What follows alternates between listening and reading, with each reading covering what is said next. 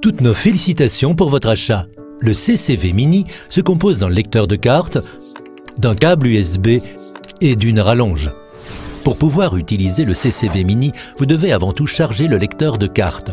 Connectez le lecteur de carte à l'aide du câble USB qui est fourni avec l'appareil. Le lecteur de carte est chargé une fois que le quatrième témoin LED mauve est allumé. Connectez ensuite le lecteur de carte à votre appareil mobile. Si le lecteur est correctement connecté, le quatrième témoin LED bleu s'allume. Vous pouvez également connecter le CCV Mini au moyen de la rallonge qui est fournie avec l'appareil. Téléchargez à présent l'application CCV Pay. Pour vous connecter, vous avez besoin du TMS Terminal ID.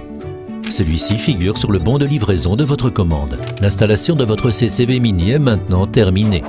Pour effectuer un paiement, connectez le CCV Mini à votre smartphone ou tablette, ouvrez l'application CCV Pay et encodez le montant exact de la transaction.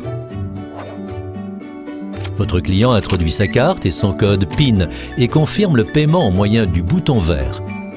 Si la transaction est réussie, Accepter s'affiche sur l'écran. Si votre client souhaite recevoir un récépissé de paiement, il lui suffit d'indiquer une adresse email. CCV Let's Make Payment Happen.